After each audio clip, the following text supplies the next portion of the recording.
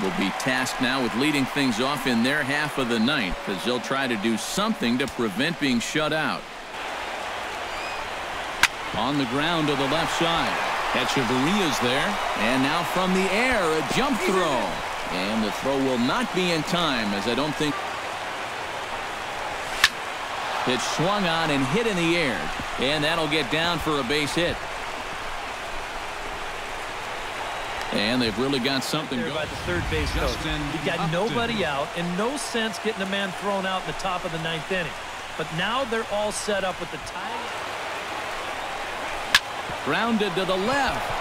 And that'll get past his outstretched glove. It's a base hit. And to score is the runner from third.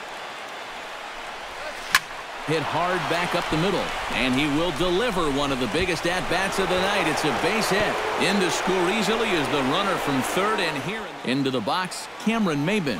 Oh, and this is lined into right center field. That's a base hit. And that could be a big insurance to first.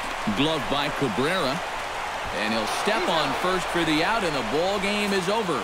Well, just a really nice come-from-behind victory. Well, you always hope to get a good outing from your starting pitcher, but this man went above and beyond in this one. He's our top player of the game.